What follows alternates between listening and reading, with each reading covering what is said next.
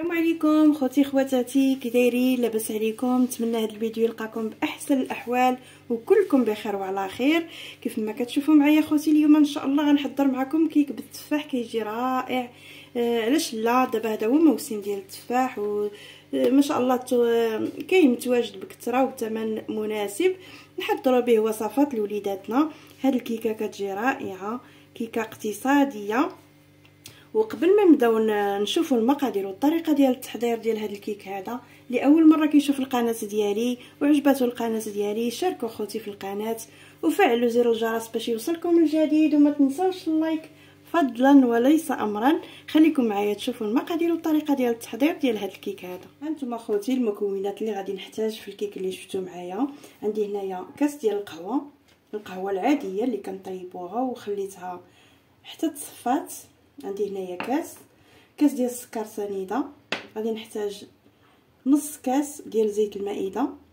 عندي هنايا ثلاثة ديال الكيسان ديال الدقيق. بكاس العنبة. بنفس الكيسان اللي عابره بهم هذا العبر هذا. عندي جوج ديال البيضات. عندي هنا جوج ساشيات ديال الخميرة sachet ديال ال vanille وجوج ساشيات ديال الكاكاو.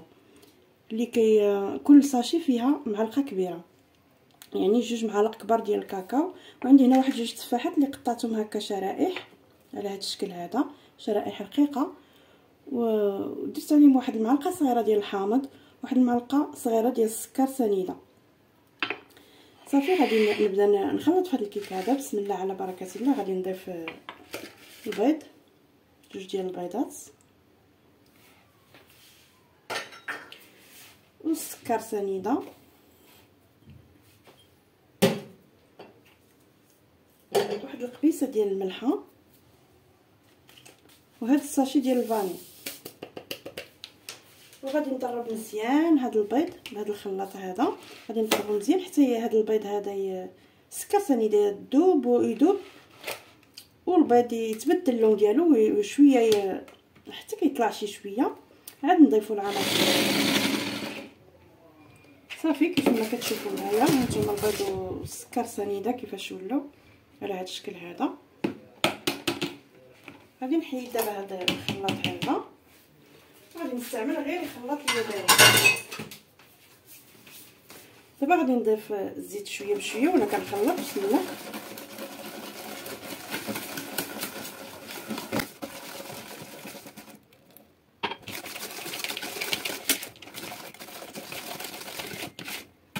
غادي نضيف القهوة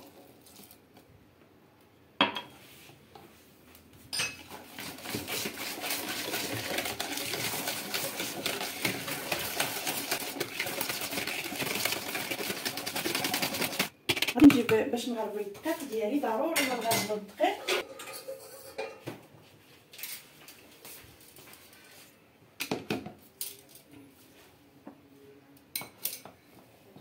الدقيق دائما نديرو شوية بشوية. غادي نضيف الخميرة ولا الخمارة ديال الحلوة. كل ساشي كتوزن 8 غرام من مجموع 16 غرام. وغادي نضيف هذا الساشي ديال الكاكاو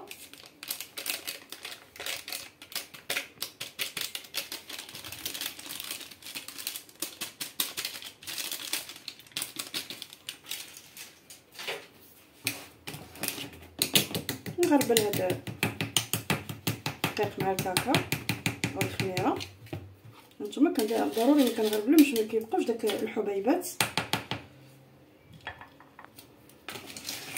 ونخلط.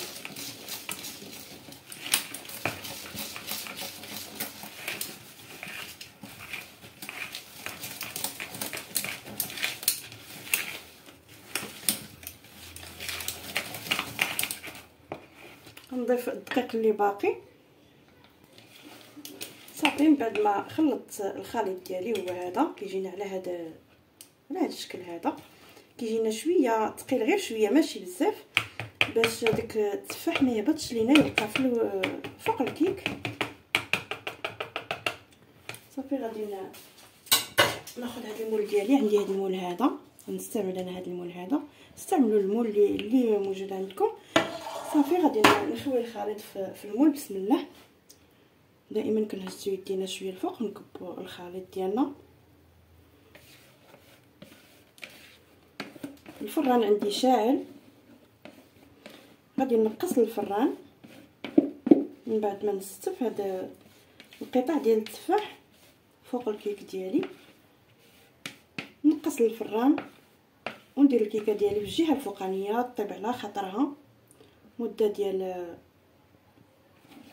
35 دقيقة.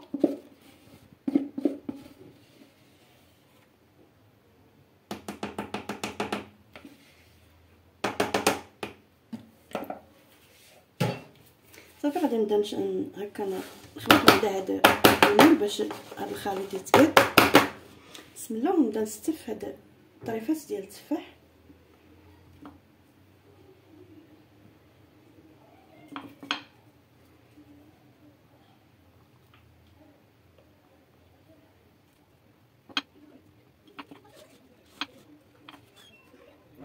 صافي من بعد ما استفت الشرائح ديال التفاح هانتوما على هذا الشكل هذا. غادي ندخل الكيك ديالي الفران. يطيب الكيك ونرجع معكم بالشكل النهائي إن شاء الله. وهذا هو الشكل النهائي ديال الكيك ديالي. كيف ما كتشوفوا معايا خوتي كيك كيجي رائع. هانتوما المنظر ديالو كيشهي والمذاق ديالو ولا أروع.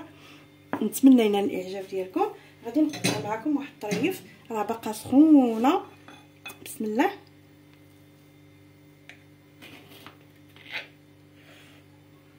كان كيخصها حتى تبرد عاد نقطعوها ولكن ماشي مشكل. نقطع معكم طريف تشوفوا معايا.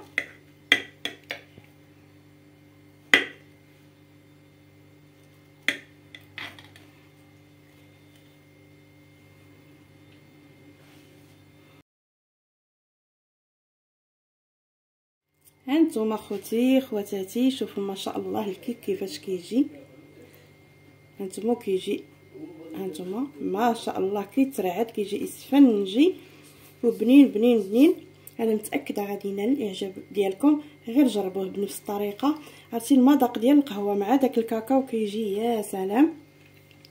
هكا الكيك ديالي جا زوين. أنا دهنتو شوية ب دهنتو شوية غير بال confiture باش يعطينا داك اللمعان. شكرا لكم اخوتي. كما كنقول لكم دائما شكرا لكم على اللايكات ديالكم والكومونتيرات الزوينين اللي كتخليو في حقي. كنتمنى الفيديو ينال الاعجاب ديالكم. شكرا لكم على المشاهدة. ونتلاقاو في فيديو جديد إن شاء الله.